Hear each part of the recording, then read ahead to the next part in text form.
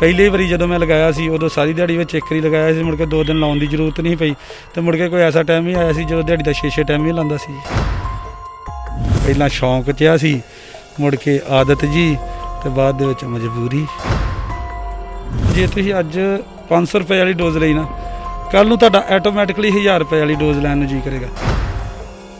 ਜਿੰਨੇ ਵੀ ਨਸ਼ਾ ਕਰਦੇ ਨੇ, ਉਹ ਸਾਰੇ ਇਹ ਚੀਜ਼ ਸੋਚਦੇ ਨੇ ਕਿ ਅਸੀਂ ਸਵੇਰੇ ਨਸ਼ਾ ਨਹੀਂ ਕਰਨਾ, ਰਾਤ ਨੂੰ ਇਹ ਚੀਜ਼ ਸੋਚਦੇ ਪਰ ਕੀ ਹੈ ਕਿ ਉਹਨਾਂ ਦੀਆਂ ਮਜਬੂਰੀਆਂ ਜਿਹੜੀਆਂ ਨੇ ਨਾ, ਉਹਨਾਂ ਨੂੰ ਜ਼ਰੂਰ ਨਸ਼ਾ ਕਰਾਉਂਦੀਆਂ, ਕਿਉਂਕਿ ਸਵੇਰੇ ਉਹਨਾਂ ਦੇ ਸਰੀਰ ਦੀਆਂ ਐਕਟੀਵਿਟੀਆਂ ਜਿਹੜੀਆਂ ਨੇ ਨਾ, ਉਹਨਾਂ ਨੂੰ ਨਸ਼ਾ ਕਰਨ ਨੂੰ ਮਜਬੂਰ ਕਰ ਦਿੰਦੀਆਂ ਤੇ ਸਰਕਾਰਾਂ ਕਹਿੰਦੀਆਂ ਵੀ ਨਸ਼ਾ ਜਿਹੜਾ ਹੈਗਾ ਬੰਦ ਕਰ ਦਿੱਤਾ, ਬੰਦ ਕਰ ਦਿੱਤਾ। ਅੱਜ ਵੀ ਜਿਹੜੇ ਆ ਨੌਜਵਾਨ ਜਿਹੜੇ ਹੈਗੇ ਆ, ਇਸ ਨਸ਼ੇ ਦੀ ਭੇਟ ਚ ਰਹੇ ਨੇ। 12 ਮਹੀਨੇ ਤੁਸੀਂ ਨਸ਼ਾ ਕੀਤਾ। ਕੀ ਤੁਹਾਨੂੰ ਲੱਗਦਾ ਆਮ ਲੋਕ ਹੀ ਇਹ ਨਸ਼ਾ ਵੇਚਦੇ ਆ ਕਿ ਇਹਦੇ ਵਿੱਚ ਕਿਤੇ ਨਾ ਕਿਤੇ ਸਿਆਸੀ ਬੰਦੇ ਵੀ ਇਨਵੋਲ ਹੈਗੇ ਆ? ਬਾਰਡਰੋਂ ਪਾਰੋਂ ਜੇ ਆਉਂਦਾ ਤੇ ਦਿੱਲੀ ਵਾਲਾ ਕਿੱਥੋਂ ਚੱਲ ਜਾਂਦਾ? ਕਹਿ ਦਿੰਦੇ ਜੀ ਦਿੱਲੀ ਤੋਂ ਵੀ ਚੱਲਦਾ, ਦਿੱਲੀ 'ਚ ਵੀ ਬਣਦਾ। ਕੁੜੀਆਂ ਵੀ ਨਸ਼ੇ ਕਰਨ ਦੇ ਵਿੱਚ ਆ ਰਹੀਆਂ ਨੇ, ਕਿਉਂਕਿ ਮੁੰਡਿਆਂ ਨੂੰ ਤਾਂ ਤੁਹਾਨੂੰ ਪਹਿਲਾਂ ਹੀ ਪਤਾ ਕਿ ਕੁੜੀਆਂ ਨਾਲ ਨਸ਼ਾ ਪੂਰਤੀ ਕਰਨ ਵਾਸਤੇ ਕੁਝ ਵੀ ਕਦਮ ਪੁੱਟਣਾ ਪੈਂਦਾ। ਕੁੜੀਆਂ ਨੂੰ ਵੀ ਕਈ ਕਦਮ ਪੁੱਟਣੇ ਪੈਣਗੇ, ਤੇ ਇਹਦੇ ਨਾਲ ਕ੍ਰਾਈਮ ਵਧੇਗਾ। ਅੱਜ ਕੱਲ ਮੁੰਡਿਆਂ ਦਾ ਬੜਾ ਮੰਦਾ ਹਾਲ ਹੈ। ਫੀਮ ਤੇ ਸ਼ਰਾਬ, ਭੁੱਕੀ, ਚਿੱਟੇ ਦਾ ਖਿਆਲ ਹੈ। ਅੱਜ ਕੱਲ ਮੁੰਡਿਆਂ ਦਾ ਬੜਾ ਮੰਦਾ ਹਾਲ ਹੈ। ਛੱਡ ਦਿੱਤਾ ਇਹਨਾਂ ਹਿੱਕ ਤਾਣ ਤਾਣ ਤੁਰਨਾ, ਰੰਗਲੇ ਪੰਜਾਬ ਦੀਆਂ ਸਾਹਾਂ ਨਾਲ ਜੁੜਨਾ। ਕਲਯੁਗ ਪਾਇਆ ਲੋਕੋ ਇਹਨਾਂ ਉੱਤੇ ਜਾਲ ਹੈ। ਅੱਜ ਕੱਲ ਮੁੰਡਿਆਂ ਦਾ ਬੜਾ ਮੰਦਾ ਹਾਲ ਹੈ। ਸਤਿ ਸ਼੍ਰੀ ਅਕਾਲ, ਸਕਾਈ ਨਿਊਜ਼ ਪੰਜਾਬ ਵੇਖਣ ਵਾਲੇ ਸਾਰੇ ਹੀ ਦਰਸ਼ਕਾਂ ਦਾ ਮੈਂ ਜਗਤਾਰ ਸਿੰਘ ਮਾਲਾ ਇੱਕ ਵਾਰੀ ਫਿਰ ਸਵਾਗਤ ਕਰਦਾ ਹਾਂ। ਦੋਸਤੋ, ਐਸੇ ਹੀ ਨਸ਼ੇ ਦੀ ਦਲਦਲ ਵਿੱਚ ਪਹੁੰਚੇ ਅੰਮ੍ਰਿਤਸਰ ਜ਼ਿਲ੍ਹੇ ਦੇ ਇੱਕ ਨੌਜਵਾਨ ਜਿਸ ਨੇ ਕੁਝ ਚਿਰ ਪਹਿਲਾਂ ਇਸ ਨਸ਼ੇ ਦੀ ਦਲਦਲ ਵਿੱਚ ਫਸ ਗਿਆ ਸੀਗਾ। ਅੱਜ ਉਸ ਦੇ ਨਾਲ ਗੱਲਬਾਤ ਕਰਾਂਗੇ ਕਿ ਉਸ ਨਸ਼ੇ ਦੇ ਜੰਜਾਲ ਵਿੱਚ ਕਿਵੇਂ ਆਇਆ ਤੇ ਕਿਵੇਂ ਇਸ ਤੋਂ ਉਹਨਾਂ ਨੂੰ ਛੁਟਕਾਰਾ ਮਿਲਿਆ? ਆਓ ਚੱਲਦੇ ਹਾਂ ਉਸ ਨੌਜਵਾਨ ਦੇ ਕੋਲ ਉਹਨਾਂ ਦੇ ਨਾਲ ਗੱਲਬਾਤ ਕਰਾਂਗੇ। ਸਵਾਗਤ ਹੈ ਜੀ ਤੁਹਾਡਾ ਸਕਾਈ ਨਿਊਜ਼ ਪੰਜਾਬ 'ਚ ਤੁਹਾਡਾ ਵੀ ਬਹੁਤ-ਬਹੁਤ ਸਵਾਗਤ। ਜਿੰਨੇ ਵੀ ਸਰੋਤੇ ਸਾਨੂੰ ਦੇਖ ਰਹੇ ਆ ਉਹਨਾਂ ਦਾ ਬਹੁਤ-ਬਹੁਤ ਸਵਾਗਤ। ਤਹਿ ਦਿਲੋਂ ਧੰਨਵਾਦ। ਪਹਿਲਾਂ ਤੇ ਸਾਨੂੰ ਦੱਸੋ ਇਹ ਵੀ ਤੁਸੀਂ ਤੁਹਾਨੂੰ ਇਹ ਨਸ਼ੇ ਦੀ ਲੱਤ ਜਿਹੜੀ ਹੈ ਲੱਗੀ ਕਿਵੇਂ ਜੀ?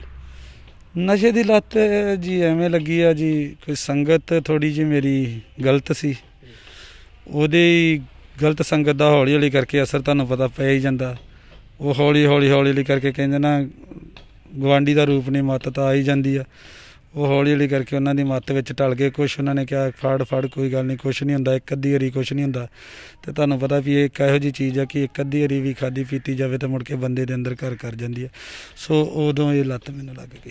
ਇਹ ਕਿਹੜੀ ਕਿਹੜੀ ਪ੍ਰਕਾਰ ਦਾ ਤੁਸੀਂ ਨਸ਼ਾ ਕੀਤਾ ਸੀ? ਮੈਂ ਸਿਰਫ ਇੱਕ ਜੇ ਨਸ਼ਾ ਕੀਤਾ ਹੈ ਤੇ ਇੱਕ ਵਾਈਟ ਚਿੱਟਾ ਜਿਹਨੂੰ ਹੀਰੋਨ ਕਹਿ ਦਿੰਦੇ ਆ ਉਹਦਾ ਹੀ ਕੀਤਾ ਹੋਰ ਕੋਈ ਨਸ਼ਾ ਨਹੀਂ ਕੀਤਾ ਜੀ। ਜਿਵੇਂ ਤੁਸੀਂ ਦੱਸਿਆ ਵੀ ਸਾਡੇ ਯਾਰਾਂ ਦੋਸਤਾਂ ਨੇ ਹੀ ਲਾ ਦਿੱਤੀ ਤੁਹਾਨੂੰ ਜਿਹੜੀ ਨਸ਼ੇ ਦੀ। ਪਹਿਲੀ ਵਾਰ ਹੋਇਆ ਕਿਦਾਂ ਨਾਲ ਤੁਹਾਡੇ ਨਾਲ ਜਿਹੜੀ ਘਟਨਾ ਹੋਈ, ਕਿਵੇਂ ਹੋਈ? ਐਵੇਂ ਬਸ ਉਹਨਾਂ ਨੇ ਕਿਹਾ ਕਰਨ ਦੇ ਕਹਿੰਦੇ ਇੰਜੋਇਮੈਂਟ ਕਰਨੇ ਆ, ਕੋਈ ਗੱਲ ਨਹੀਂ, ਤੂੰ ਵੀ ਇੱਕ ਅੱਧੀ ਵਾਰੀ ਲਾ ਕੇ ਦੇਖ ਲਾ। ਤੇ ਬਥੇਰਾ ਚਿਰ ਬਚਦੇ ਰਹੇ ਉਹਨਾਂ ਕੋਲੋਂ। ਇੱਕ ਅੱਧੀ ਵਾਰੀ ਲੱਗਣ ਦੇ ਨਾਲ ਹੌਲੀ ਹੌਲੀ ਕਰਕੇ ਤੁਹਾਨੂੰ ਪਤਾ ਹੀ ਆ ਕਿ ਜਦੋਂ ਇੱਕ ਵਾਰੀ ਲੱਗਾ ਉਸ ਤੋਂ ਬਾਅਦ ਦੇ ਵਿੱਚ ਦੂਜੀ ਵਾਰੀ ਆਪ ਵੀ ਉਹਨਾਂ ਨੂੰ ਪੁੱਛ ਲਿਆ ਵੀ ਚੱਲ ਯਾਰ ਉਦੋਂ ਬੜਾ ਵਧੀਆ ਹਿਸਾਬ ਰਿਹਾ, ਸਿਹਤ ਬੜੀ ਸਾਫ਼ ਰਹੀ, ਬੜਾ ਆਪਣਾ ਮਤਲਬ ਕਿ ਥਕੇਵਾ ਨਹੀਂ ਰਿਹਾ ਤੇ ਤੁਸੀਂ ਇੱਕ ਵਾਰੀ ਫੇਰ ਮੈਨੂੰ ਲਵਾ ਦਿਓ। ਉਹ ਫੇਰ 8 ਦਿਨ ਹੀ ਲਾ ਲਿਆ। 8 ਤੋਂ 14 ਦਿਨਾਂ ਦੇ ਵਿੱਚ ਆ ਗਏ 14 ਤੋਂ 6 ਦਿਨਾਂ ਦੇ ਵਿੱਚ ਆ ਗਏ। ਇਦਾਂ ਕਰ ਕਰਕੇ ਮੁੜ ਕੇ ਰੋਜ਼ ਵਾਲੀ ਆਦਤ ਬਣ ਗਈ। ਪਹਿਲਾਂ ਸ਼ੌਂਕ 'ਚ ਆ ਸੀ, ਮੁੜ ਕੇ ਆਦਤ ਜੀ ਤੇ ਬਾਅਦ ਦੇ ਵਿੱਚ ਮਜਬੂਰੀ ਇਹ ਬਣ ਗਈ। ਆਉਂਦਾ ਕਿੱਥੋਂ ਸੀ ਇਹ ਨਸ਼ਾ? ਆਉਂਦਾ ਵੇਖੋ ਜੀ, ਮੈਂ ਤਾਂ ਐਦਾਂ ਹੀ ਤੁਹਾਨੂੰ ਪਤਾ ਕਿ ਜਿਹੜੇ ਯਾਰ ਦੋਸਤ ਸੀ, ਉਹਨਾਂ ਕੋਲੋਂ ਲੈ ਲੈਂਦਾ ਸੀ। ਮਿਲ ਜਾਂਦਾ ਸੀ। ਤੇ ਹੁਣ ਤਾਂ ਮੇਰੇ ਖਿਆਲ ਨਾਲ ਮੈਨੂੰ 14 ਮਹੀਨੇ ਹੋ ਗਿਆ ਮੈਂ ਕਦੀ ਕਿਸੇ ਨਾਲ ਨਾ ਫੋਨ, ਨਾ ਕੋਈ ਕੰਟਰੈਕਟ ਜੇ ਕਿਸੇ ਦਾ ਫੋਨ, ਜੇ ਕੋਈ ਮਿਲ ਵੀ ਸੱਜਣ ਮਿੱਤਰ ਪੈਂਦਾ, ਤੇ ਆਪਾਂ ਕਦੀ ਸੱਤ ਕੁ ਸੱਤ ਵੀ ਨਹੀਂ ਕੀਤੀ। ਪਹਿਲੀ ਵਾਰ ਜੇ ਤੁਸੀਂ ਨਸ਼ੇ ਦਾ ਸੇਵਨ ਕੀਤਾ ਸੀ, ਕਿੰਨੇ ਕੁ ਪੈਸੇ ਤੁਹਾਡੇ ਕੋਲ ਉਹਨਾਂ ਲਏ ਸੀ ਕਿ ਜਾਂ ਫ੍ਰੀ ਕੀਤਾ ਸੀ? ਭਾਜੀ ਉਹ ਤੁਹਾਨੂੰ ਪਤਾ ਕਿ ਪੈਸੇ ਉਦੋਂ ਤੇ ਯਾਰੀ ਦੋਸਤੀ ਸਮਝ ਕੇ ਕਹਿੰਦੇ ਵੀ ਕੋਈ ਗੱਲ ਹੀ ਨਹੀਂ ਤੂੰ ਸਾਡਾ ਭਰਾ ਆ। ਤੇਰੇ ਕੋਲੋਂ ਅਸੀਂ ਕਦੀ ਪੈਸੇ ਲੈ ਸਕਦੇ ਆ ਉਦੋਂ ਤਾਂ ਪੈਸੇ ਨਹੀਂ ਲਏ। ਪਰ ਉਸ ਤੋਂ ਬਾਅਦ ਦੇ ਵਿੱਚ ਤੁਹਾਨੂੰ ਪਤਾ ਮੁੜ ਕੇ ਪੈਸੇ ਕੌਣ ਛੱਡਦਾ। ਕੀ ਲੱਗਦਾ ਨਹੀਂ ਤੁਹਾਡੇ ਵੇਚਣ ਵਾਲੇ ਜਿਹੜੇ ਦੋਸਤੀ ਉਹ ਉਹਨਾਂ ਨੇ ਤੁਹਾਨੂੰ ਇਸ ਆਦਤ ਦੇ ਵਿੱਚ ਲਾ ਦਿੱਤਾ? ਹਾਂ ਇਹੀ ਹੋਇਆ ਆ। ਉਹਨਾਂ ਨੇ ਹੌਲੀ ਹੌਲੀ ਕਰਕੇ ਲਾਤਾ ਕਿਉਂਕਿ ਕਾਰੋਬਾਰ ਚੰਗਾ ਸੀ ਪੈਸੇ ਚਾਰ ਕਮਾਈਦੇ ਸੀ ਤੇ ਹੌਲੀ ਹੌਲੀ ਕਰਕੇ ਉਹਨਾਂ ਨੂੰ ਗਾਹਕ ਮਿਲ ਗਿਆ। ਕਿੰਨੇ ਸਮਾਂ ਜਿਹੜਾ ਤੁਸੀਂ ਨਸ਼ਾ ਕੀਤਾ ਹੈ ਇਹ ਸਮਾਂ ਦੇਖ ਲਓ 2018 ਦੇ ਵਿੱਚ ਕੀਤਾ ਸੀ ਮੈਂ। ਮਤਲਬ ਕਿ 17 ਦੇ ਲਾਸਟ ਤੋਂ ਕੀਤਾ ਸੀ ਚਾਲੂ ਤੇ 18 ਸਾਰਾ ਲੰਘ ਗਿਆ ਸੀ। ਤੇ 18 ਦੇ ਐਂਡ ਦੇ ਉੱਤੇ ਮਤਲਬ ਕਿ 19 ਦੇ ਐਂਡ ਦੇ ਉੱਤੇ ਜਾ ਕੇ ਮੈਂ ਛੱਡ ਦਿੱਤਾ ਜੀ। ਕੀ ਕਾਰੋਬਾਰ ਕੀ ਕਰਦੇ ਹੋ ਸਮੇਂ ਤੇ? ਮੈਂ ਲੈਬ ਟੈਕਨੀਸ਼ੀਅਨ ਸੀ ਲੈਬੋਰਟਰੀ ਟੈਕਨੀਸ਼ੀਅਨ ਸੀ ਜੀ। ਲੈਬੋਰਟਰੀ ਦਾ ਕੰਮ ਕਰਦਾ ਸੀ ਜੀ ਮੈਂ। ਤੇ ਹਰ ਰੋਜ਼ ਕਿੰਨੇ ਕੁ ਨਸ਼ੇ ਦਾ ਜਿਹੜਾ ਸੀ ਸੇਵਨ ਕਰ ਲੈਂਦੇ ਹੋ? ਕਿੰਨਾ ਕੁ ਹਰ ਰੋਜ਼ ਦਾ ਖਰਚਾ ਕਰਦੇ ਸੀਗੇ? ਪਹਿਲਾਂ ਤੇ ਜੀ ਵੇਖੋ ਜੀ 500 ਰੁਪਏ ਤੋਂ ਸ਼ੁਰੂ ਹੋਇਆ ਸੀ। ਮੁੜ ਕੇ 1000 ਤੇ ਗਿਆ। 1000 ਤੋਂ 2000 ਤੇ ਗਿਆ 2000 ਤੋਂ 4000 ਤੇ ਗਿਆ 4000 ਤੋਂ 6000 ਤੇ ਚੜ ਗਿਆ। ਤੇ ਕਿਵੇਂ ਪੂਰਤੀ ਹੁੰਦੀ ਸੀ? ਰੋਜ਼ ਪੈਸੇ ਘਰੋਂ ਜਾਂਦੇ ਸੀ ਕਿਵੇਂ ਪੂਰਤੀ ਹੁੰਦੀ ਸੀ ਦੇਖੋ ਲੈਬ ਤੋਂ ਵੀ ਕਮਾਈ ਜਾਂਦੀ ਸੀ ਘਰ ਦੇ ਵਿੱਚ ਪੈਲੀ ਵੀ ਸੀ ਮਾਲ ਡੰਗਰ ਵੀ ਸੀ ਗੱਡੀਆਂ ਸੀ ਮੋਟਰਸਾਈਕਲ ਸੀ। ਹੌਲੀ ਹੌਲੀ ਕਰਕੇ ਲੈਬ ਦੀ ਕਮਾਈ ਤੋਂ ਜਦੋਂ ਕੰਮ ਘਟ ਗਿਆ ਫਿਰ ਘਰ ਵਾਲੇ ਪਾਸੇ ਨੂੰ ਚੱਲ ਪਏ ਗੱਡੀਆਂ ਵੇਚੀਆਂ ਗੱਡੀਆਂ ਵੇਚ ਕੇ ਮਤਲਬ ਕਿ ਨਸ਼ਾ ਕਰ ਲਿਆ, ਫਿਰ ਪੈਲੀ ਤੇ ਲਿਮਟਾਂ ਬਣਾ ਲੀਆਂ ਫਿਰ ਪੈਲੀ ਦੀਆਂ ਲਿਮਟਾਂ ਬਣਾ ਕੇ ਕਰ ਲਿਆ, ਫਿਰ ਆਪਣੇ ਯਾਰਾਂ ਦੋਸਤਾਂ ਤੋਂ ਮੰਗਣੇ ਸ਼ੁਰੂ ਕਰਤੇ, ਕਿਸੇ ਕੋ 5000 ਕਿਸੇ ਕੋ 10000 ਕਿ ਦੇ ਦਿਓ। ਉਹ ਸਾਰੇ ਹੀ ਨਸ਼ੇ ਜਿਹੜੇ ਮਤਲਬ ਕਿ ਫਿਰ ਫਿਰ ਪੂਰਤੀ ਹੁੰਦੀ ਰਹੀ ਜੀ। ਜਦੋਂ ਬੰਦਾ ਇਸ ਨਸ਼ੇ ਦੀ ਦਲਦਲ 'ਚ ਫਸ ਜਾਂਦਾ ਹੈ ਤੇ ਪਰਿਵਾਰ ਵੀ ਜਿਹੜਾ ਹੈ ਕਿਸੇ ਵੇਲੇ ਸਾਥ ਛੱਡ ਜਾਂਦਾ ਪਰਿਵਾਰ ਨੇ ਉਸ ਤਰ੍ਹਾਂ ਦਾ ਤੁਹਾਡੇ ਨਾਲ ਕਿਸ ਤਰ੍ਹਾਂ ਦਾ ਵਰਤੀਆ ਕੀਤਾ ਜੀ? ਪਰਿਵਾਰ ਨੇ ਮੇਰੇ ਨਾਲ ਬਹੁਤ ਵਧੀਆ ਵਤੀਰਾ ਕੀਤਾ ਜੀ। ਪਰਿਵਾਰ ਇੱਕ ਗੱਲੋਂ ਪਰੇਸ਼ਾਨ ਸੀ ਕਿ ਸਾਡੇ ਪੁੱਤ ਨੂੰ ਇਹ ਨਸ਼ਾ ਕਿੱਥੋਂ ਲੱਗ ਗਿਆ। ਪਰ ਉਹਨਾਂ ਨੇ ਇਹ ਗੱਲ ਮੇਰੇ ਪਰਿਵਾਰ ਨੇ ਮੇਰੇ ਨਾਲ ਇਸ ਚੀਜ਼ ਦੇ ਵਿੱਚ ਬੜਾ ਸਾਥ ਦਿੱਤਾ ਜੀ। ਮੇਰੀ ਵਾਈਫ ਤੇ ਮੇਰੇ ਮਤਲਬ ਕਿ ਮਦਰ ਤੇ ਬ੍ਰਦਰ ਉਹਨਾਂ ਨੇ ਕਦੀ ਵੀ ਮੇਰਾ ਸਾਥ ਛੱਡਣ ਦੀ ਕੋਸ਼ਿਸ਼ ਨਹੀਂ ਕੀਤੀ। ਸਗੋਂ ਉਹ ਸੇਵਾ ਕਰਦੇ ਰਹੇ ਗੁਰਦੁਆਰਾ ਸਾਹਿਬ ਜਾ ਕੇ। ਮੈਨੂੰ ਵੀ, ਮੈਂ ਨਾ ਵੀ ਜਾਣਾ ਤੇ ਮੈਨੂੰ ਧੱਕੇ ਨਾਲ ਵੀ ਦਰਬਾਰ ਸਾਹਿਬ ਲੈ ਕੇ ਜਾਣਾ ਕਿ ਤੂੰ ਸੇਵਾ ਕਰ। ਇੱਥੋਂ ਹੀ ਸਭ ਕੁਝ ਮਿਲਣਾ ਆ। ਇਹਨੇ ਗੁਰਬਾਣੀ ਨੇ ਹੀ ਤੇਰਾ ਨਸ਼ਾ ਛਡਾਉਣਾ। ਚਲੋ ਹੌਲੀ ਹੌਲੀ ਕਰਕੇ ਉਹ ਮੈਨੂੰ ਖੜਦੇ ਰਹੇ, ਅਰਦਾਸਾਂ ਕਰਦੇ ਰਹੇ। ਮੇਰੇ ਯਾਰ ਦੋਸਤ ਵੀ ਅਰਦਾਸਾਂ ਕਰਦੇ ਰਹੇ, ਜਿਨ੍ਹਾਂ ਨਾਲ ਮੈਂ ਮਿਲਦਾ ਰਿਹਾ। ਤੇ ਕਿਸੇ ਨਾ ਕਿਸੇ ਦੀ ਅਰਦਾਸ ਨੇ ਅੱਜ ਮੈਨੂੰ ਇਸ ਜਗ੍ਹਾ ਤੇ ਲੈ ਕੇ ਖੜਾਤਾ ਅਹ, ਤੁਹਾਨੂੰ ਲੱਗਦਾ ਨਹੀਂ ਕਿ ਜਿਵੇਂ ਪੰਜਾਬ ਦੇ ਵਿੱਚ ਸਰਕਾਰਾਂ ਦੀ ਗੱਲ ਕਰੀਏ ਸਰਕਾਰਾਂ ਕਹਿੰਦੀਆਂ ਵੀ ਨਸ਼ਾ ਜਿਹੜਾ ਹੈਗਾ ਬੰਦ ਕਰ ਦਿੱਤਾ ਬੰਦ ਕਰ ਦਿੱਤਾ। ਅੱਜ ਵੀ ਜਿਹੜੇ ਆ ਨੌਜਵਾਨ ਜਿਹੜੇ ਹੈਗੇ ਆ ਇਸ ਨਸ਼ੇ ਦੀ ਭੇਟ ਚ ਰਹੇ ਨੇ। ਵੇਖੋ ਜੀ ਸਰਕਾਰਾਂ ਕਹਿਣ ਨੂੰ ਤੇ ਕਹਿੰਦੀਆਂ ਜੀ ਅਸੀਂ ਨਸ਼ਾ ਬੰਦ ਕਰ ਦਿੱਤਾ। ਕਿਹੜਾ ਮੋੜ ਆ ਕਿਹੜੀ ਗਲੀ ਆ ਜਿੱਥੋਂ ਨਸ਼ਾ ਨਹੀਂ ਮਿਲਦਾ ਸਾਰਿਆਂ ਨੂੰ ਮਿਲਦਾ। ਪਰ ਆਪਾਂ ਇਹ ਗੱਲ ਕਰਦੇ ਆ ਜੀ ਸਾਡੀ ਵੱਲੋਂ ਹੁਣ ਜਿੱਥੋਂ ਮਰਜ਼ੀ ਮਿਲਦਾ ਹੋਵੇ ਨਾ ਮਿਲਦਾ ਹੋਵੇ ਕਦੀ ਨਾ ਪੁੱਛਣ ਦੀ ਨੌਬਤ ਪਈ ਆ ਨਾ ਲੈਣ ਦੀ ਨੌਬਤ ਪਈ ਆ ਨਾ ਕੋਈ ਗੱਲ ਬਣੀ ਪਿੱਛੇ ਕਹਿੰਦੇ ਜੀ ਲੋਕਡਾਊਨ ਆ ਨਸ਼ਾ ਬੰਦ ਹੋ ਜਾਏਗਾ ਮੈਂ ਇਹੀ ਸੋਚਿਆ ਕਿ ਲੋਕਡਾਊਨ ਦੇ ਵਿੱਚ ਵੀ ਹੋ ਜਾਏਗਾ। ਤੇ ਹੁਣ ਫੇਰ ਬੰਦੇ ਵੇਖੋ ਟੀਕੇ ਲਾ ਲਾ ਕੇ ਮਰੀ ਜਾਂਦੇ ਨੇ। ਕੀ ਬਣ ਰਿਹਾ? ਕਿੰਨਾ ਕੁਝ ਹੋ ਰਿਹਾ ਜੀ? ਤਕਰੀਬਨ ਤੁਸੀਂ ਦੱਸਿਆ ਕਿ 12 ਮਹੀਨੇ ਤੁਸੀਂ ਨਸ਼ਾ ਕੀਤਾ। ਕੀ ਤੁਹਾਨੂੰ ਲੱਗਦਾ ਆਮ ਲੋਕ ਹੀ ਇਹ ਨਸ਼ਾ ਵੇਚਦੇ ਆ ਕਿ ਇਹਦੇ ਵਿੱਚ ਕਿਤੇ ਨਾ ਕਿਤੇ ਸਿਆਸੀ ਬੰਦੇ ਵੀ ਇਨਵੋਲ ਹੈਗੇ ਆ? ਵੇਖੋ ਮੈਂ ਤਾਂ ਜਿੰਨਾ ਕੁ ਚਿਰ ਕੀਤਾ ਮੈਨੂੰ ਤੇ ਆਮ ਲੋਕ ਤੱਕ ਹੀ ਰਿਹਾ। ਮੈਂ ਤਾਂ ਕਿਸੇ ਸਿਆਸੀ ਪਾਰਟੀਆਂ ਤੱਕ ਰਿਹਾ ਨਹੀਂ ਆ। ਬਾਕੀ ਮੈਨੂੰ ਕੋਈ ਇਹਦੇ ਬਾਰੇ ਇੰਨੀ ਕੋਈ ਲੰਮੀ ਚੌੜੀ ਦਾ ਪਤਾ ਨਹੀਂ ਸੀ ਪਰ ਮੈਨੂੰ ਇੰਨਾ ਪਤਾ ਸੀ ਕਿ ਜਿਹੜੇ ਆਮ ਲੋਕ ਨਸ਼ਾ ਵੇਚਦੇ ਸੀ ਉਹ ਪੁਲਿਸ ਕੋਲ ਵੀ ਚਲ ਜਾਂਦੇ ਸੀ ਫੜੇ ਜਾਂਦੇ ਸੀ ਦੋ ਤਿੰਨ ਮਹੀਨੇ ਬਾਅਦ ਜ਼ਮਾਨਤ ਕਰਾ ਕੇ ਆਣ ਕੇ ਫੇਰ ਬਾਹਰ ਨਸ਼ਾ ਵੇਚ ਲੈਂਦੇ ਸੀ।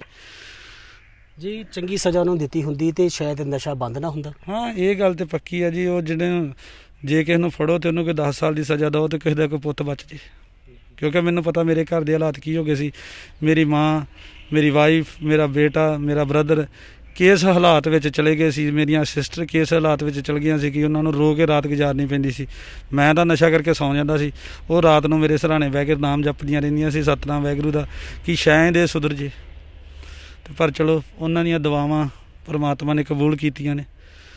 ਬਹੁਤ ਸਾਰੀਆਂ ਸਰਕਾਰਾਂ ਦਾ ਸਿਆਸੀ ਲੋਕ ਕਹਿੰਦੇ ਆ ਕਿ ਜਿਹੜਾ ਚਿੱਟਾ ਆ ਉਹ ਬਾਰਡਰੋਂ ਪਾਰ ਆਉਂਦਾ ਆ। ਕੀ ਤੁਹਾਨੂੰ ਲੱਗਦਾ ਇਹ ਬਾਰਡਰੋਂ ਪਾਰ ਆਉਂਦਾ ਹੋਏਗਾ ਕਿ ਜਾਂ ਇਸੇ ਸਾਡੇ ਦੇਸ਼ ਦੇ ਅੰਦਰੋਂ ਹੀ ਤਿਆਰ ਕਰਕੇ ਲੋਕਾਂ ਦੇ ਜ਼ਹਿਰ ਘੁਲਿਆ ਜਾ ਰਿਹਾ? ਭਾਜੀ ਮੈਂ ਜਿੱਥੋਂ ਛੱਡ ਕੇ ਆਇਆ ਨਸ਼ਾ ਜੀ। ਉਧਰ ਦੇ ਪਾਸੇ ਤੇ ਕਹਿੰਦੇ ਕਿ ਚੱਲਦਾ ਦਿੱਲੀ ਵਾਲਾ। ਜੀ। ਜੇ ਬਾਰਡਰੋਂ ਪਾਰੋਂ ਆਉਂਦਾ ਤੇ ਫਿਰ ਦਿੱਲੀ ਵਾਲੇ ਦਾ ਨਾਮ ਕਿੱਥੋਂ ਬਣ ਗਿਆ ਜੀ? ਤੁਸੀਂ ਮੰਨ ਸਕਦੇ ਹੋ ਕਿ ਕਹਿੰਦੇ ਕਿ ਬਾਰਡਰੋਂ ਪਾਰੋਂ ਆਉਂਦਾ। ਬਾਰਡਰੋਂ ਪਾਰੋਂ ਜੇ ਆਉਂਦਾ ਤੇ ਦਿੱਲੀ ਵਾਲਾ ਕਿੱਥੋਂ ਚੱਲ ਜਾਂਦਾ? ਕਹਿ ਦਿੰਦੇ ਜੀ ਦਿੱਲੀ ਤੋਂ ਵੀ ਚੱਲਦਾ, ਦਿੱਲੀ 'ਚ ਵੀ ਬਣਦਾ। ਸੁਣ ਚ ਆਇਆ ਕਿ ਦਿੱਲੀ 'ਚ ਬਣਦਾ। ਚਲੋ ਦਿੱਲੀ ਵਾਲਾ ਲਾ ਕੇ ਨਹੀਂ ਦੇਖਿਆ, ਨਾ ਕੀਤਾ। ਤੇ ਇਹ ਵੀ ਰੱਬ ਗੜੀ ਅਰਦਾਸ ਕਰਦੇ ਕਿ ਗਾਂ ਸਾਨੂੰ ਇਸ ਜ਼ਿੰਦਗੀ ਦੇ ਵਿੱਚ ਕਦੀ ਨੌਬਤ ਹੀ ਨਾ ਆਵੇ, ਇਹੋ ਜਿਹੇ ਨਸ਼ੇ ਬਾਰੇ ਸੋਚਣ ਦੀ ਵੀ ਜੀ। ਇੱਧਰ ਦਾ ਨਸ਼ਾ ਵੀ ਹੁੰਦਾ ਹੈ। ਚਲੋ ਪਾਰੋਂ ਵੀ ਆਂਦਾ ਹੋਏਗਾ, ਪਰ ਇੱਧਰੋਂ ਵੀ ਬਣਦਾ।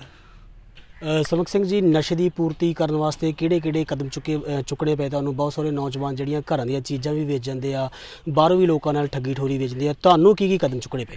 ਵੇਖੋ ਜੀ, ਪਹਿਲਾਂ ਤਾਂ ਮੇਰੇ ਕੋਲ ਦੁਕਾਨ ਦੇ ਉੱਤੇ ਪੈਸੇ ਆਉਂਦੇ ਸੀ। ਕੰਮਕਾਰ ਦੇ ਪੈਸੇ ਆਉਂਦੇ ਸੀ। ਪਹਿਲਾਂ ਤਾਂ ਉਹ ਖਰਚ ਹੋ ਜਾਂਦੇ ਸੀ। ਮੁੜ ਕੇ ਉਸ ਤੋਂ ਬਾਅਦ ਦੇ ਵਿੱਚ ਦੋ ਗੱਡੀਆਂ ਸੀ, ਉਹ ਵੇਚ ਦਿੱਤੀਆਂ। ਉਸ ਤੋਂ ਬਾਅਦ ਦੇ ਵਿੱਚ ਘਰ ਦੇ ਵਿੱਚ ਤੁਹਾਨੂੰ ਪਤਾ ਵੀ ਹਰ ਕੋਈ ਬੰਦੇ ਨੇ ਗਹਿਣਾ ਤਾਂ ਰੱਖਿਆ ਹੁੰਦਾ ਆਪਣੇ ਪਾਣ ਵਾਸਤੇ। ਉਹ ਵੇਚ ਕੇ ਪੂਰਤੀ ਕੀਤੀ, ਫਿਰ ਪੈਲੀ ਦੀ ਜ਼ਮੀਨ ਦੀ ਲਿਮਟ ਬਣਾਈ। ਉਹ ਪੂਰਤੀ ਕੀਤੀ। ਜਦੋਂ ਮੈਨੂੰ ਇਹਨਾਂ ਚੀਜ਼ਾਂ ਸਾਰੀਆਂ ਤੋਂ ਪਤਾ ਲੱਗ ਗਿਆ ਕਿ ਹੁਣ ਮੇਰੇ ਹੱਥ ਵਿੱਚ ਕੁਝ ਨਹੀਂ ਰਹਿੰਦਾ ਜਾਂਦਾ ਫਿਰ ਮੈਂ ਆਪਦੇ ਘਰਦਿਆਂ ਨੂੰ ਸਭ ਕੁਝ ਸੱਚ ਦੱਸਿਆ ਤੇ ਉਹਨਾਂ ਨੇ ਮੇਰਾ ਟ੍ਰੀਟਮੈਂਟ ਕਰਵਾ ਦਿੱਤਾ। ਸੋ ਇਸ ਨਸ਼ੇ ਨੂੰ ਛੱਡਣ ਵਾਸਤੇ ਕੀ ਉਪਰਾਲਾ ਕੀਤਾ ਤੁਸੀਂ? ਕੀ ਉਪਰਾਲਾ? ਪਹਿਲੀ ਗੱਲ ਤੇ ਸਭ ਤੋਂ ਪਹਿਲਾਂ ਕਿ ਤੁਹਾਡਾ ਆਪਣਾ ਮਨ ਹੋਣਾ ਚਾਹੀਦਾ। ਜੇ ਤੁਸੀਂ ਆਪਣੇ ਮਨ ਤੋਂ ਨਸ਼ਾ ਛੱਡਦੇ ਹੋ ਨਾ ਤੇ ਫਿਰ ਨਸ਼ਾ ਛੁੱਟਦਾ। ਤੇ ਦੂਜੇ ਨੰਬਰ ਤੇ ਉਪਰਾਲਾ ਮੇਰਾ ਇਹ ਕੀਤਾ ਕਿ ਮੇਰੇ ਘਰਦਿਆਂ ਨੇ ਤੇ ਮੈਨੂੰ ਕੋਈ ਚੰਗਾ ਕੋਈ ਜਿਹਨੂੰ ਕਹਿ ਦਈਏ ਗੁਰੂ ਦਾ ਪਿਆਰਾ ਉਹ ਮਿਲ ਗਿਆ। ਉਹਨੇ ਇਹ ਗੱਲ ਕਹੀ ਸੀ ਕਿ 45 ਦਿਨ ਸਾਡੀਆਂ ਆਦਤਾਂ ਚੇਂਜ ਹੋਣ ਨੂੰ ਲੱਗਦੀਆਂ ਨੇ ਤੇ 60 ਦਿਨ ਸਾਨੂੰ ਨਸ਼ੇ ਤੋਂ ਦੂਰ ਰਹਿਣਾ ਪੈਂਦਾ ਹੈ। ਘੱਟ ਤੋਂ ਘੱਟ। ਬਹੁਤ ਜਿਹਨੂੰ ਕਹਿੰਦੇ ਘੱਟ ਤੋਂ ਘੱਟ ਅਸੀਂ ਕਹਿ ਦਿੰਦੇ ਨਾ ਕਿ 2-4 ਦਿਨ, ਮਤਲਬ ਕਿ ਬੰਦੇ ਨੂੰ 2-4 ਦਿਨ ਨਸ਼ੇ ਤੋਂ ਪਰਾਂ ਕਰ ਦਿਓ ਤਾਂ ਬੰਦਾ ਨਸ਼ਾ ਛੱਡ ਦੇਗਾ, ਬਿਲਕੁਲ ਨਹੀਂ। ਇਸ ਨਸ਼ੇ ਨੂੰ ਜੇ ਛੱਡਣਾ ਆ, ਤੇ ਪੂਰੇ 60 ਦਿਨ ਹੀ ਸਾਨੂੰ ਨਸ਼ੇ ਤੋਂ ਦੂਰ ਰਹਿਣਾ ਪਊਗਾ, ਨਾ ਫੋਨ ਦੀ ਵਰਤੋਂ ਕਰਨੀ ਪਊਗੀ, ਨਾ ਸਾਨੂੰ ਇਸ ਦੁਨੀਆ ਨੂੰ, ਜਿਹੜੀ ਦੁਨੀਆ ਸਾਡੀ ਨਸ਼ੇ ਵਾਲੀ ਹੈ ਤਾਂ ਬਿਲਕੁਲ ਹੀ ਛੱਡਣੀ ਪਊਗੀ। ਤਾਂ ਫੇਰ ਜਾ ਕੇ ਬੰਦੇ ਦਾ ਨਸ਼ੇ ਤੋਂ ਦੂਰ ਹੁੰਦਾ ਤੇ ਮੈਂ ਵੀ ਇਦਾਂ ਹੀ ਕੀਤਾ। ਮੈਂ 60 ਦਿਨ ਇਸ ਦੁਨੀਆ ਤੋਂ ਦੂਰ ਰਿਹਾ। ਨਾ ਫੋਨ ਯੂਜ਼ ਕੀਤਾ, ਸਭ ਕੁਝ ਕੁਛ ਨਹੀਂ। ਬਸ ਇੱਕ ਪਰਮਾਤਮਾ ਦਾ ਨਾਮ ਲਿਆ, ਗੁਰਬਾਣੀ ਪੜ੍ਹੀ ਦੀ ਸੀ। ਸਵੇਰੇ 2 ਵਜੇ ਉੱਠ ਕੇ ਨਿਤਨੇਮ ਕਰੀਦਾ ਸੀ। ਨਿਤਨੇਮ ਹੀ ਕਰਦੇ ਰਹੇ। ਦੁਪਹਿਰ ਨੂੰ ਸੁਖਮਨੀ ਸਾਹਿਬ ਦਾ ਪਾਠ ਕਰੀਦਾ ਸੀ ਰਾਤ ਨੂੰ ਵੀ ਪਾਠ ਕਰੀਦਾ ਸਤਨਾਮ ਵਾਹਿਗੁਰੂ ਦਾ ਜਾਪ ਕਰੀਦਾ ਮੂਲ ਮੰਤਰ ਦਾ ਜਾਪ ਕਰੀਦਾ ਗੁਰਦੁਆਰਾ ਸਾਹਿਬ ਵਿੱਚ ਹਾਂ। ਤਾਂ ਪ੍ਰਮਾਤਮਾ ਨੇ ਕਿਰਪਾ ਕੀਤੀ ਉਸ ਨੇ ਤੇ ਅੱਜ ਇਸ ਜ਼ਿੰਦਗੀ ਨੂੰ ਬਤੀਤ ਕਰ ਰਹੇ। ਹਾਂ ਅੱਜ ਤੇ ਬਹੁਤ ਸਾਰੇ ਨੌਜਵਾਨ ਨਸ਼ਾ ਕਰਦੇ ਨੇ ਉੱਥੇ ਅੱਜ ਕੱਲ ਬੱਚੇ ਵੀ ਇਸ ਦਾ ਸੇਵਨ ਕਰਨ ਲੱਗ ਪਏ ਨੇ। ਤੇ ਕੁੜੀਆਂ ਦਾ ਵੀ ਤੁਸੀਂ ਸੁਣਿਆ ਹੈ ਕਿ ਬਹੁਤ ਸਾਰੀਆਂ ਕੁੜੀਆਂ ਵੀ ਅੱਜ ਕੱਲ ਜਿਹੜੀਆਂ ਨਸ਼ੇ ਦਾ ਸੇਵਨ ਕਰਨ ਜਾਂਦੀਆਂ। ਕਿਵੇਂ ਵੇਖਦੇ ਹੋ ਇਸ ਨੂੰ?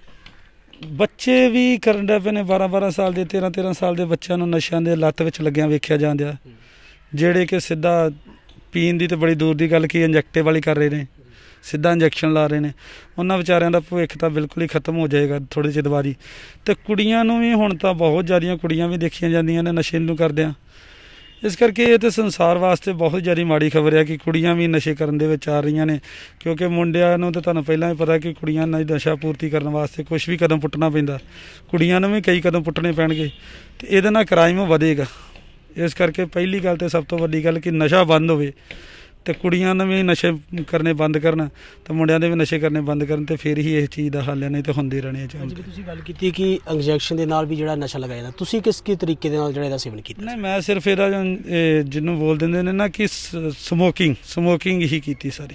ਤੇ ਟੀਕੇ ਦੇ ਨਾਲ ਨਸ਼ਾ ਲਾਉਣ ਦਾ ਕੀ ਮਤਲਬ ਵਾਲਿਆ? ਉਹਦੇ ਨਾਲ ਛੇਤੀ ਅਸਰ ਹੁੰਦਾ ਕਿ ਕਿਵੇਂ ਹਾਂ ਉਹ ਕਹਿੰਦੇ ਨੇ ਕਿ ਛੇਤੀ ਅਸਰ ਹੁੰਦਾ ਕਿ ਸਿੱਧਾ ਜਾ ਕੇ ਤੁਹਾਡੇ ਬਲੱਡ ਦੇ ਨਾਲ ਹਾਰਟ ਨੂੰ ਲਿਖਦਾ। ਪਰ ਨਹੀਂ ਮੈਂ ਜਿੰਨਾ ਵੀ ਕੀਤਾ ਸਮੋਕਿੰਗ ਰਹੀ ਕੀਤਾ ਸੀ। ਜਿਵੇਂ ਤੁਸੀਂ ਦੱਸਿਆ ਕਿ ਪਹਿਲਾਂ ਤੁਸੀਂ ਥੋੜਾ ਨਸ਼ਾ ਕਰਦੇ ਸੀ ਫਿਰ ਹੌਲੀ ਹੌਲੀ ਅਹ, ਜ਼ਿਆਦਾ ਨਸ਼ਾ ਕਰਨ ਲੱਗੇ। ਕੀ ਕਾਰਨ ਰਿਹਾ ਹੌਲੀ ਹੌਲੀ ਜ਼ਿਆਦਾ ਨਸ਼ਾ ਕਰਨ ਦਾ? ਕੀ ਤੁਹਾਡੀ ਬਾਡੀ ਨੂੰ ਕੀ ਫ਼ਰਕ ਪੈਂਦਾ ਸੀ ਉਹਦੇ ਨਾਲ? ਜਿਹੜਾ ਹੀਰੋਇਨ ਦਾ ਨਸ਼ਾ ਨਾ ਜੀ ਇਹਦੀ ਡੋਜ਼ ਨਹੀਂ ਹੁੰਦੀ ਕੋਈ। ਇਹਦੀ ਕੋਈ ਡੋਜ਼ ਨਹੀਂ ਹੁੰਦੀ। ਇਹ ਹਮੇਸ਼ਾ ਜੇ ਤੁਸੀਂ ਅੱਜ 500 ਰੁਪਏ ਵਾਲੀ ਡੋਜ਼ ਲਈ ਨਾ ਕੱਲ ਨੂੰ ਤੁਹਾਡਾ ਆਟੋਮੈਟਿਕਲੀ 1000 ਰੁਪਏ ਵਾਲੀ ਡੋਜ਼ ਲੈਣ ਨੂੰ ਜੀ ਕਰੇਗਾ। ਇਹ ਨਸ਼ਾ ਪੈਰ ਪੈਰ ਪੈਰ ਪੈਰ ਵੱਧਦਾ ਜਾਂਦਾ। ਇਹ ਨਸ਼ਾ ਇੱਕ ਜਗ੍ਹਾ ਤੇ ਨਹੀਂ ਟਿਕਦਾ। ਇਸ ਕਰਕੇ ਇਹ ਨਸ਼ਾ ਵੱਧਦਾ ਹੀ ਜਾਂਦਾ ਵੱਧਦਾ ਹੀ ਜਾਂਦਾ ਵੱਧਦਾ ਹੀ ਜਾਂਦਾ ਤੇ ਉਹ ਬੰਦਾ ਆਪਣੇ ਆਪ ਹੀ ਵਧਾਈ ਜਾਂਦਾ ਆਪਾਂ ਕਹਿ ਸਕਦੇ ਹਾਂ ਕਿ ਇਹ ਕਿਸੇ ਨੇ ਬਿਜ਼ਨਸ ਤਿਆਰ ਕੀਤਾ ਕਿ ਇਹਨੂੰ ਵਧਾਇਆ ਜਾਵੇ ਤੇ ਮੇਰਾ ਨਸ਼ਾ ਜਿਹੜਾ ਦਿਨੋ ਦਿਨ ਜ਼ਿਆਦਾ ਵਿਕੇ। ਬਿਲਕੁਲ ਬਿਲਕੁਲ ਇਹ ਵੀ ਕਹਿ ਸਕਦੇ ਹਾਂ ਕਿ ਜਿਸ ਕਿਸੇ ਮਤਲਬ ਕਿ ਜਿਵੇਂ ਕਹਿ ਲਓ ਕਿ ਕਿਸੇ ਨੇ ਇਹ ਬਿਜ਼ਨਸ ਤਿਆਰ ਕੀਤਾ ਕਿ ਉਹ ਜ਼ਿਆਦਾ ਨਸ਼ਾ ਵਿਕੇ ਉਹਦਾ ਤੇ ਜਿੰਨਾ ਜ਼ਿਆਦਾ ਕਰੀ ਜਾਏਗਾ ਬੰਦੇ ਦਾ ਉਨਾ ਜ਼ਿਆਦਾ ਮਨ ਕਰਦਾ ਜਾਏਗਾ। ਪੰਜੀ ਪੰਜੀ ਮਿੰਟ ਵੀ ਕਰਦਾ ਜਾਏਗਾ। ਪਹਿਲੀ ਵਾਰੀ ਜਦੋਂ ਮੈਂ ਲਗਾਇਆ ਸੀ ਉਦੋਂ ਸਾਰੀ ਦਿਹਾੜੀ ਵਿੱਚ ਇੱਕ ਵਾਰੀ ਲਗਾਇਆ ਸੀ ਮੁੜ ਕੇ ਦੋ ਦਿਨ ਲਾਉਣ ਦੀ ਜ਼ਰੂਰਤ ਨਹੀਂ ਪਈ। ਤੇ ਮੁੜ ਕੇ ਕੋਈ ਐਸਾ ਟਾਈਮ ਹੀ ਆਇਆ ਸੀ ਜਦੋਂ ਦਿਹਾੜੀ ਦਾ 6-6 ਟਾਈਮ ਹੀ ਲਾਉਂਦਾ ਸੀ ਜੀ। ਕਿਤੇ ਨਾ ਕਿਤੇ ਸਰਕਾਰ ਤੇ ਵੀ ਸਵਾਲ ਖੜੇ ਹੁੰਦੇ ਆ। ਬਹੁਤ ਸਾਰੇ ਲੋਕ ਕਹਿੰਦੇ ਆ ਕਿ ਬੇਰੋਜ਼ਗਾਰ ਹੋਣ ਦਾ ਕਰਕੇ ਲੋਕ ਨਸ਼ਾ ਜਿਹੜਾ ਉਹ ਸੇਵਨ ਕਰਦੇ ਨੇ। ਕਿਵੇਂ ਵੇਖਦੇ ਹੋ ਇਸ ਨੂੰ? ਨਹੀਂ ਨਹੀਂ ਬੇਰੋਜ਼ਗਾਰੀ ਨੂੰ ਨਹੀਂ ਇੱਥੇ ਅਸੀਂ ਕਹਿ ਸਕਦੇ ਕਿ ਬੇਰੋਜ਼ਗਾਰੀ ਕਰਕੇ ਬੰਦਾ ਕੋਈ ਨਸ਼ਾ ਕਰਦਾ। ਬੇਰੋਜ਼ਗਾਰ ਤੇ ਪਹਿਲਾਂ ਵਿਚਾਰਾ ਭੁੱਖਾ ਮਰ ਰਿਹਾ। ਹਨਾ ਜੀ? ਉਹ ਕਿੱਥੋਂ 1000 ਰੁਪਏ ਦਾ 1500 ਰੁਪਏ ਦਾ ਨਸ਼ਾ ਕਰਨ ਵਾਸਤੇ ਪੈਸੇ ਕੱਢੇਗਾ? ਇੱਥੇ ਇਹ ਗੱਲ ਤਾਂ ਗਲਤ ਹੈ ਕਿ ਬੇਰੋਜ਼ਗਾਰੀ ਕਰਕੇ ਨਸ਼ਾ ਨਹੀਂ ਕੀਤਾ ਜਾ ਸਕਦਾ। ਬੇਰੋਜ਼ਗਾਰੀ ਕਰਕੇ ਇਹ ਕਹਿ ਸਕਦੇ ਕਿ ਨਸ਼ਾ ਵੇਚ ਸਕਦਾ ਕੋਈ ਪਰ ਕਰ ਨਹੀਂ ਸਕਦਾ ਕੋਈ ਕਿਉਂਕਿ ਨਸ਼ਾ ਬਹੁਤ ਮਹਿੰਗਾ ਤੁਹਾਨੂੰ ਵੀ ਪਤਾ ਹੈ ਜੀ। ਜਿਹੜੀ ਵੇਚਣ ਵਾਲੇ ਉਹ ਖੁਦ ਵੀ ਇਸ ਨਸ਼ੇ ਦਾ ਸੇਵਨ ਕਰਦੇ ਆ ਕਿ ਜਾਂ ਲੋਕਾਂ ਨੂੰ ਹੀ ਇਸ ਦਲਦਲ ਦੇ ਵਿੱਚ ਸੁੱਟਦੇ ਆ ਜੀ? ਵੇਖੋ ਜੀ ਜਿਹੜਾ ਕਿਸੇ ਦਾ ਮਾੜਾ ਕਰੇਗਾ ਉਹਦਾ ਤੇ ਆਪਣਾ ਆਏਗਾ ਉਹ ਆਪ ਨਹੀਂ ਕਰੇਗਾ ਤੇ ਉਹਦਾ ਗਾਂ ਬੱਚਾ ਲੱਗ ਜਾਏਗਾ ਹੁੰਦਾ ਤੇ ਤੁਸੀਂ ਦੇਖਿਆ ਵੀ ਹੋਏਗਾ ਜਿਹੜੇ ਜ਼ਿਆਦਾ ਨਸ਼ਾ ਵੇਚਦੇ ਨੇ ਉਹਨਾਂ ਦਾ ਐਂਡ ਤਾਂ ਮਾੜਾ ਹੁੰਦਾ ਹੀ ਹੁੰਦਾ। ਇਹ ਬਹੁਤ ਸਾਰੀ ਤੁਸੀਂ ਮਾਮਲੇ ਦੇਖੇ ਹੋਣਗੇ ਪੰਜਾਬ ਪੁਲਿਸ ਦੇ ਨੌਜਵਾਨ ਵੀ ਜਿਹੜਾ ਆ ਇਸ ਦਲਦਲ ਦੇ ਵਿੱਚ ਇਸ ਨਸ਼ੇ ਦਾ ਸੇਵਨ ਕਰਦੇ ਆ। ਕਿਵੇਂ ਵੇਖਦੇ ਹੋ ਇਸ ਨੂੰ? ਵੇਖੋ ਜੀ ਮੈਂ ਤਾਂ 12 ਮਹੀਨੇ ਨਸ਼ਾ ਕੀਤਾ। ਮੈਂ ਪੰਜਾਬ ਪੁਲਿਸ ਦੇ ਕਿਸੇ ਮੁਲਾਜ਼ਮ ਨੂੰ ਸੁਣਿਆ ਜ਼ਰੂਰ ਹੈ ਕਿ ਕਰਦੇ ਨੇ। ਮੇਰੇ ਨਾਲ ਬਹਿ ਕੇ ਕਿਸੇ ਨੇ ਕੀਤਾ ਨਹੀਂ ਦੇਖਿਆ ਨਹੀਂ ਸੁਣਿਆ ਜ਼ਰੂਰ ਸੀ ਸੀ ਕਰਦੇ ਨੇ। ਵੀ ਉਹ ਨਸ਼ਾ ਕਰਦੇ ਨੇ। ਜਿਵੇਂ ਤੁਸੀਂ ਦੱਸਿਆ ਕਿ ਤੁਸੀਂ ਇਸ ਨਸ਼ੇ ਨੂੰ ਛੱਡਿਆ। ਤੁਹਾਡੇ ਨਾਲ ਜਿਹੜੇ ਤੁਹਾਡੇ ਯਾਰ ਦੋਸਤ ਸੀ ਉਹ ਅੱਜ ਵੀ ਉਸ ਦਾ ਸੇਵਨ ਕਰ ਰਹੇ ਆ ਕਿ ਜਾਂ ਉਸ ਨੂੰ ਛੱਡ ਚੁੱਕੇ ਆ? ਤੁਹਾਡੇ ਵੱਲ ਵੇਖ ਕੇ। ਵੇਖੋ ਮੈਂ ਤਾਂ ਇੱਕ ਗੱਲ ਕਰਾਂਗਾ ਜੀ, ਮੈਂ ਉਹਨਾਂ ਦੇ ਨਾਲੋਂ ਬਿਲਕੁਲ ਹੀ ਨਾਤਾ ਹੀ ਤੋੜ ਦਿੱਤਾ। ਮੈਂ ਉਹਨਾਂ ਦੀਆਂ ਕਾਲ ਅਟੈਂਡ ਕਰਦਾ ਜੇ ਆਂਦੀ ਆ, ਉਹਨਾਂ ਨੂੰ ਪੁੱਛੀਦਾ, ਹਾਂਜੀ ਵੀਰ ਜੀ ਕੋਈ ਕੰਮ ਹੈਗਾ, ਦੱਸਿਓ। ਉਸ ਮਸਲੇ ਤੇ ਮੇਰੇ ਨਾਲ ਕਿਸੇ ਕਿਸਮ ਦੀ ਤੁਹਾਡੀ ਗੱਲ ਨਹੀਂ ਹੋਣੀ ਚਾਹੀਦੀ। ਤੇ ਮੈਂ ਉਹਨਾਂ ਨਾਲ ਬਿਲਕੁਲ ਹੀ ਆਪਣਾ ਮਤਲਬ ਕਿ ਸਿਰਫ, ਬਿਲਕੁਲ ਹੀ ਮੈਂ ਉਹਨਾਂ ਦੀ ਜ਼ਿੰਦਗੀ ਦੇ ਵਿੱਚੋਂ ਨਿਕਲ ਗਿਆ, ਮੈਂ ਆਪਦੀ ਜ਼ਿੰਦਗੀ ਦੇ ਵਿੱਚ। ਤੁਸੀਂ ਉਹ ਸਮਾਂ ਵੀ ਵੇਖਿਆ, ਜਦੋਂ ਘਰ ਦਾ ਨੁਕਸਾਨ ਹੋਇਆ, ਆਪਣਾ ਨੁਕਸਾਨ ਕੀਤਾ। ਤੇ ਅੱਜ ਦੀ ਜ਼ਿੰਦਗੀ ਬਾਰੇ ਤੇ ਉਦੋਂ ਦੀ ਜ਼ਿੰਦਗੀ ਬਾਰੇ ਕੀ ਫ਼ਰਕ ਹੈ? ਮੈਂ ਤੇ ਇੱਕ ਆਪਣੇ ਵੀਰਾਂ ਨੂੰ ਇੱਕ ਸਲਾਹ ਦਿਆਂਗਾ, ਜਿੰਨੇ ਵੀ ਨਸ਼ਾ ਕਰਦੇ ਨੇ। ਮੈਨੂੰ ਇੰਨਾ ਪਤਾ ਕਿ ਉਹ ਇਹ ਚੀਜ਼ ਸੋਚ ਲੈਣ ਕਿ ਜਿਸ ਦਿਨ ਉਹਨਾਂ ਨੂੰ 2 ਘੰਟੇ ਨਸ਼ਾ ਨਹੀਂ ਨਾ ਮਿਲਦਾ, ਤੇ ਉਹਨਾਂ ਦੀ ਕੀ ਹਾਲਤ ਹੋ ਜਾਂਦੀ ਹੈ। ਮਰਨ ਤੱਕ ਚਲੇ ਜਾਂਦੇ ਨੇ। ਤੇ ਜੇ ਅੱਜ ਸਾਡੇ ਸਰੀਰ ਨੂੰ ਥੋੜੀ ਬਹੁਤੀ ਕੋਈ ਲੱਤ ਪੀੜ ਕੋਈ ਲੱਕ ਪੀੜ ਕੋਈ ਢਿੱਡ ਪੀੜ ਕੋਈ ਸਿਰ ਪੀੜ ਹੁੰਦੀ ਆ ਤੇ ਥੋੜਾ ਚਿਰ ਅੱਧਾ ਘੰਟਾ ਘੰਟਾ ਜਰ ਸਕਦੇ ਆ ਤੇ ਕਿਹੜੀ ਆਖਰ ਆ ਚੱਲੀ ਆ। ਇਸ ਕਰਕੇ ਬੰਦਾ ਟੋਟ ਲੱਗੀ ਤੇ ਦੌਦ ਨਾਲ ਨਸ਼ਾ। ਇੱਕ ਗੱਲ ਤੁਹਾਨੂੰ ਹੋਰ ਇੱਥੇ ਐਡ ਕਰਦੇ ਦਿਆਂ ਹਾਂ, ਜਿੰਨੇ ਵੀ ਨਸ਼ਾਈ ਬੰਦੇ ਨੇ ਨਾ ਜਿੰਨੇ ਵੀ ਨਸ਼ਾ ਕਰਦੇ ਨੇ ਉਹ ਸਾਰੇ ਇਹ ਚੀਜ਼ ਸੋਚਦੇ ਨੇ ਵੀ ਅਸੀਂ ਸਵੇਰੇ ਨਸ਼ਾ ਨਹੀਂ ਕਰਨਾ ਰਾਤ ਨੂੰ ਇਹ ਚੀਜ਼ ਸੋਚਦੇ ਆ।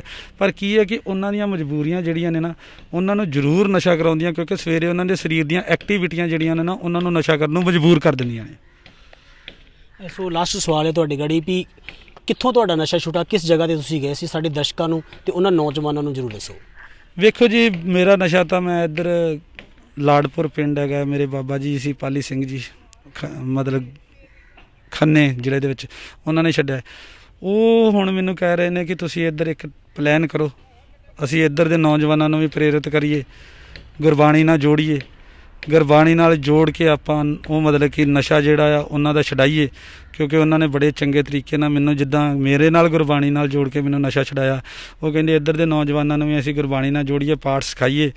ਪਾਠ ਸਿਖਾ ਕੇ ਉਹਨਾਂ ਨੂੰ ਇੱਕ ਗੁਰਬਾਣੀ ਵਾਲੇ ਪਾਸੇ ਲਾ ਕੇ ਤੇ ਉਹਨਾਂ ਦਾ ਨਸ਼ਾ ਛਡਾਈਏ ਕਿ ਇਹੋ ਜਿਹਾ ਪਲੇਟਫਾਰਮ ਤੁਸੀਂ ਵੀ ਤਿਆਰ ਕਰੋ। ਤੇ ਮੈਂ ਇਹ ਗੱਲ ਅਪੀਲ ਕਰਾਂਗਾ ਆਪਣੇ ਸਾਰੇ ਵੀਰਾਂ ਨੂੰ, ਜਿਹੜੇ ਸੰਸਾਰ ਸੇਵੀ ਨੇ, ਕਿ ਇਸ ਨੂੰ, ਇਸ ਉਪਰਾਲੇ ਨੂੰ ਜੇ ਸਾਡੇ ਬਾਬਾ ਜੀ ਇੱਧਰ ਆਣ ਕੇ ਕਰਨਾ ਚਾਹੁੰਦੇ ਨੇ, ਤੇ ਉਹਨਾਂ ਦੇ ਨਾਲ ਇਹ ਸਾਥ ਜ਼ਰੂਰ ਦੇਣ।